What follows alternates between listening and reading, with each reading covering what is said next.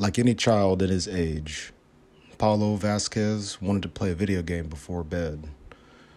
Now, the eight year old was charging his PlayStation when gunfire erupted from a drive by shooter outside of his family's mobile home in northeast Harris County, punching holes in the wall and hitting him once in the torso. Paul died on June the 12th, 2022, a year split in two as dozens of families in Harris County buried children killed in the shooting. This is the Bayou City Report coming at you with a very important topic and subject for the city of Houston. According to the Harris County Institute of Forensics, 60 children and teens under the age of 18 will die from gunshot wounds in the third most populous U.S. Uh, county in 2022. So, if you didn't know, Harris County is the third most populous, like I just said, um, as of as of today, actually, as of now, making the Houston area the youngest and most killed, at least five years. The number includes 47 murders, 12 suicides, and one accident, all by gun violence. In contrast, New York police recorded 16 child murders during the same period nearly twice the population, according to the New York Times. Across Harris County, boys and girls have been shot by relatives and friends, shot, shot at in parking lots and driveways, and have had bullets hit their homes or cars. Some pulled the trigger with their own hands.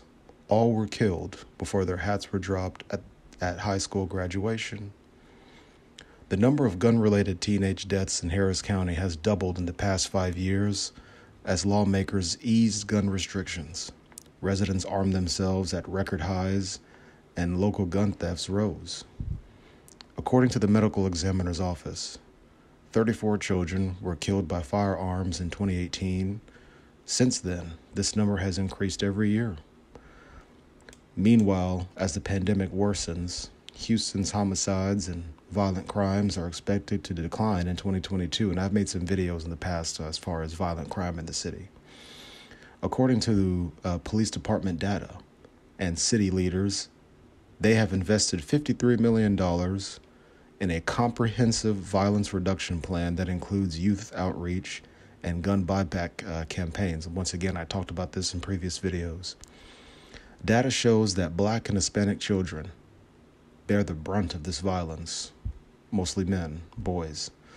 Among the dead were Katy High School junior Brian Gomez, who always cleaned his room before going out with his partner, and Devon Jones, a popular and athletic boy whose parents, teachers, and coaches were devastated by, his, by this loss.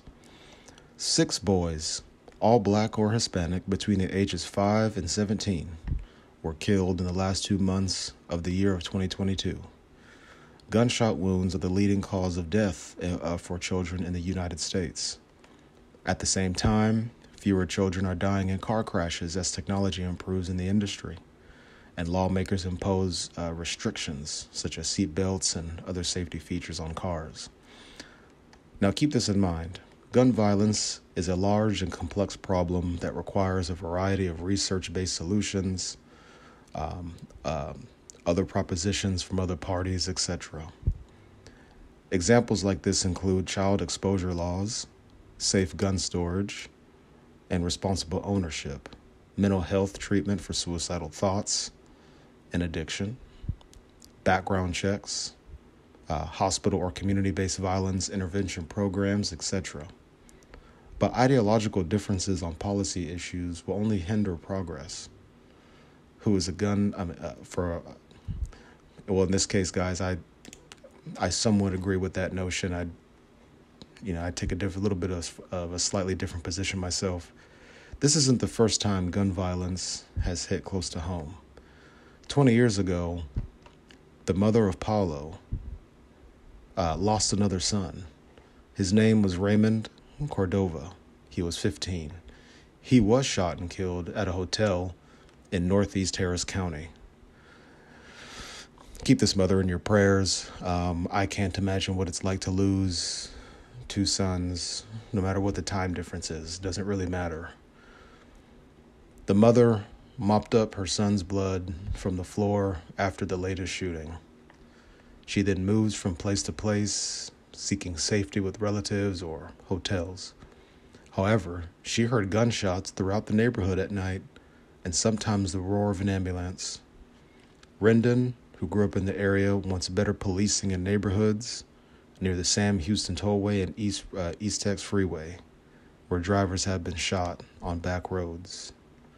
This is actually something that's interesting, guys. Um, when you talk about Sam Houston East Freeway, I've been in some circumstances where you're just minding your own business, and you notice a car maybe circling, you know, a couple circling the street a couple of times, and you know, there's guys in the car. They're not really intentional with how they're moving. They're just kind of looking around, sitting in the car. Um, that's pretty common here in the city of Houston. You just have to keep your eyes open. This is the Bayou City Report. I'm out.